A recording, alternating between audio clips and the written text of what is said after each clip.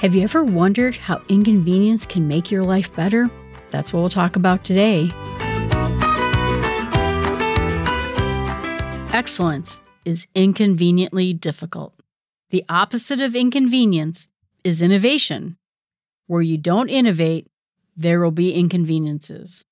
Where there is inconvenience, shall be innovation. Jana Chakoli. Today, we're going to frame our conversation around the book, The Comfort Crisis by Michael Easter.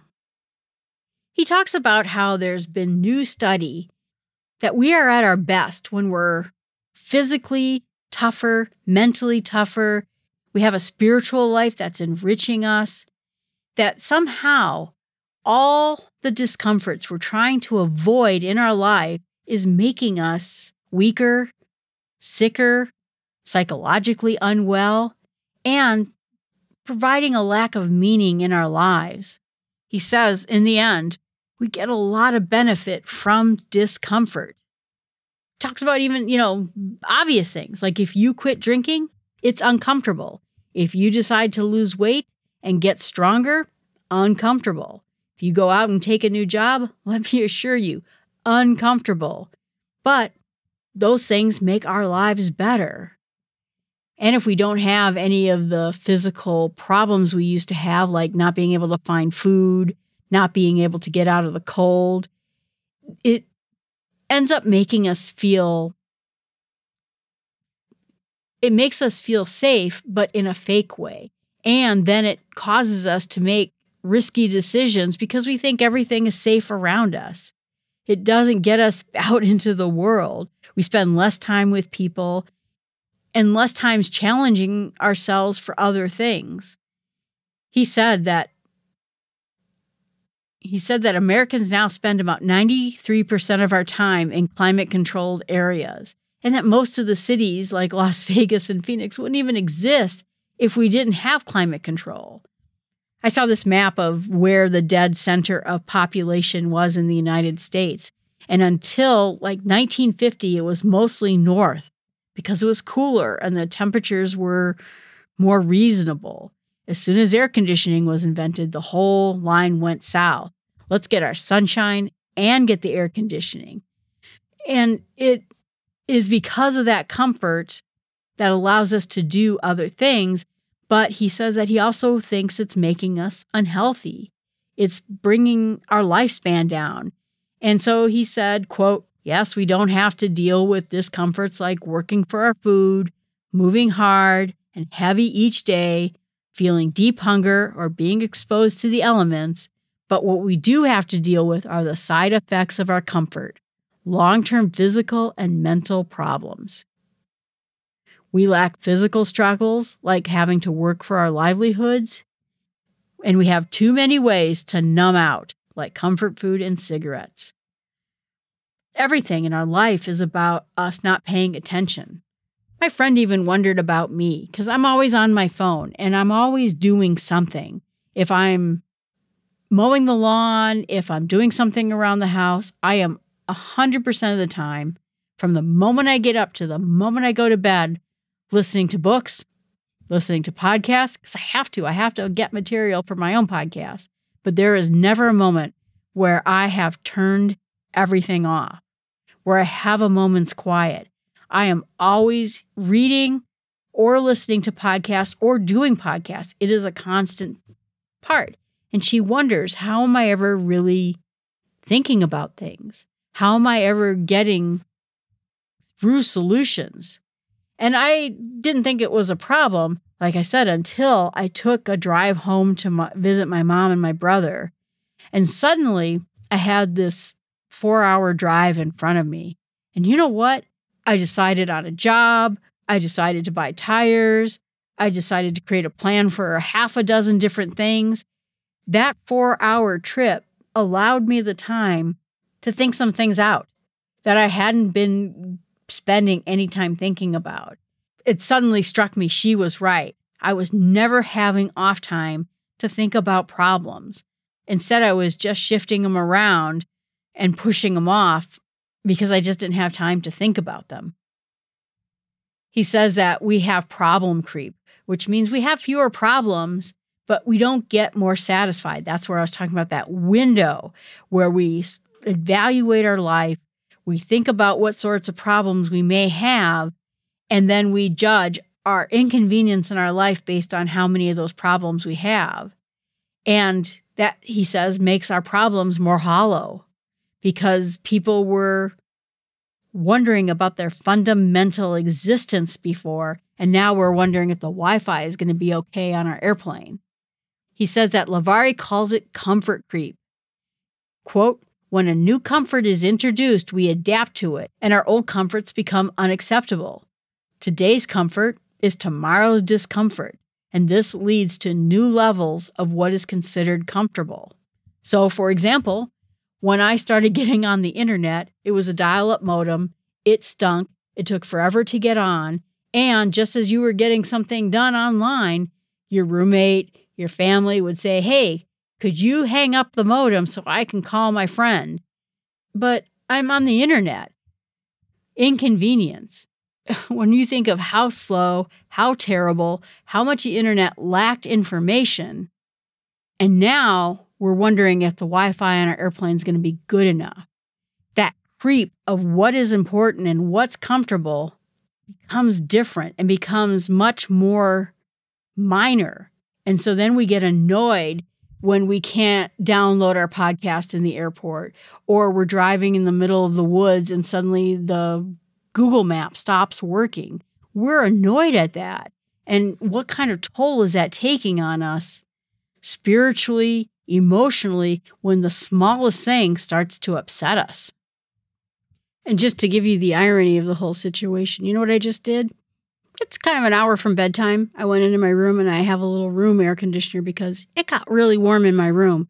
So I turn on the air conditioner so it could be cooler before I go to bed. Having a personal air conditioner in just one room, such a convenience. It's not something I had when I was growing up. I was warm all the time. But you can see how every need and issue we're having is met. I don't disparage that. I like the fact I can sleep when I'm cool. But you can see, you know, I'm never going to learn to adapt to the warmth because I have this little air conditioner with me all the time. I'm never going to learn to be a better writer because I have Grammarly fixing my writing for me. So, in a sense, because I lack that struggle anymore, I also lack progression in my own life. He talks about this practice of misogi and any type of cleansing that you have. They mention it in the same terms of hydrotherapy baptism, the mikvah bath. You know, there's all sorts of cultures that have this kind of a practice. And he decided to go through something like that, something of a spiritual challenge to add a cleansing to his life, to get away from fear and anxiety, so that he can start focusing on something that matters. He said that in his model of misogi, there's only two rules. One of them is that it has to be hard. And number two is you can't die. So they have some practices that they go to a 10K run, something that is truly difficult to do. And he said that when you test yourself, when you put yourself through a challenge, it makes you better, as long as, again, it doesn't kill you. But all sorts of cultures do a walkabout, the Aboriginal people, they do a challenge, they do something they have to do to essentially enter adulthood. And so he says in his case, he is trying to reach a challenge so he can gain that emotional, spiritual, psychological growth. And he felt that this challenge, this inconvenience, and this struggle was going to make him better in a lot of ways. There's no comparison. This isn't a race. You're supposed to go through a hard thing for you. If running a 10K is not hard for you, that's not the right challenge, but it's an intentional hardship that you're giving yourself so that you can be better. He says if you go through a hardship, don't boast about it, don't tell other people. This is something private. This is meant to be something meaningful to you. Don't blab about it on social media. This is supposed to be something that is a growth for you. You're not looking for a pat on the back. You're not looking for someone to say, good job, and like your post. You are doing this hard thing for the purposes of doing it. He says overall that people who face adversity tend to do better. They have higher satisfaction in life. Isn't that interesting? That if you face adversity, you are physically healthier, psychologically healthier, and happier. You think of people who have hardships as not being as happy. I even think about it when I was growing up. It was difficult for me. I was bullied. I couldn't find my way. I didn't feel like I had people I could talk to other than my friends, but I didn't have any sort of adults in my life that were helping me. And yet, if you asked me if I had a happy childhood, I would tell you I did. I felt happy, but I knew who I was, even in the face of the adversity that I felt. It wasn't a good thing. I knew it wasn't a good thing, but I learned peace and I learned to have peace in high stress situations parents yelling at each other, drunkenness, embarrassment. I mean, you name it as things that you face as a kid. I was able to find a, a settlement about it, a peace about it, and learn to be happy in it. And so I think that's part of what he's getting to is being happy, peaceful, content. It's not about the situation you're in. We tend to think of it that way right now. Oh, well, I have a job I love, I'm content. Or I'm doing the thing I love doing, I'm content. Or I'm on vacation right now, I'm very happy. Those types of feelings and emotions happen because of who you are, not because of what you're doing. And you learn that. Unfortunately, the best way is in unhappy situations that you can find happiness in discomfort. You can find success in disasters. In England, they found out that a lot of people are on autopilot, sort of sleepwalk. We've done that in driving where you wake up and it's suddenly, you know, 100 miles down the road and you wondered what happened. We're not engaged in our lives. And I think that's, in a sense, what adversity or inconvenience does for us. It brings us back, you know, and so all the things that we have when we have a life of convenience is being petty, worrying about what other people have, what they're thinking. And so I think a lot of what I see from people being unhappy or this whole social media crisis has a lot to do with the fact we have too much time on our hands, that we look at other people too much, that we don't take things seriously that really matter, but instead we're trying to sort of judge everything based on an artificial way of looking at people. That person didn't even look at me this morning when I walked in the building. Boy, you used to live in times in war, of World War II, where if you lived that day to the end, you were grateful. And now we're wondering why that person at the front door didn't even look at us when we walked in. It is becoming too convenient. I think it's making us unhappy and maybe even a little bit weird. He talked about this practice in Japan where people are living in a single room house. They never leave their bedrooms, they never see anybody, years inside of isolation. They don't get married, they don't date, they don't have family relationships. They just live in this one space for the rest of their lives. And the question is, why is that? what mental health issue is causing people to not even want to go out. Part of the consideration has to do with the city, that as cities become more dense, people feel more and more alienated. I know for me that when I was in Los Angeles I was at first very excited. I walked down Rodeo Drive. I spent my time at the tar pits. I would go to the Beverly Mall, which is this high end mall in Beverly Hills, and just walk around. All I did was walk around after work all day long until sunset. But after a while, Los Angeles just became kind of a drag. You couldn't go anywhere. It took me two hours to go 15 miles to the Santa Monica Pier. I even did a crazy thing. I brought my bike helmet and I rented a bike and biked to the Santa Monica Pier. It was really dangerous, but at least I got there in a reasonable amount of time. And being in a city just makes me think life is so inconvenient. I don't even feel like doing things anymore because it's too long to get anywhere. Los Angeles made me feel isolated. I couldn't wait to get home where I could actually be outside and be with people and driving to work took 10 minutes. So he encourages us to get out there, have lunch, go to a coffee shop, join a club, be on a softball team, do something that will make our lives better and get us out of the solitude, away from the loneliness, make ourselves more available to other people. It will enrich our own lives and it'll enrich the lives of other people. He gives this example that there's two types of people in, in this story who pick berries. There's one worker who picks berries the quickest. And he goes to many different bushes, he has lots of different experiences, and he's trying to figure out ways to be better at it. The other person's bored. They hate the job and they barely do a minimal amount at the job. Now, you may say that this is bad for the employer of these two people picking berries, but it's bad for the employee too. The bored employee isn't making any headway, isn't using any creativity, isn't inventing new things or new ideas, while the engaged employee, even though they're just picking berries, is thinking and enjoying and figuring things out. His life is a lot happier. And so, just being more engaged, just doing something that is more interesting, more exciting, makes life better. He's throughout the book using this discussion of a hike or a trip he takes with a friend. I could have looked at my hike that I took with my friend as just one foot in front of the other, and it's just drudgery, trucking along, another tree, another this. But instead, it is new things coming at us all the time. It's a new look and a new building and a new thing.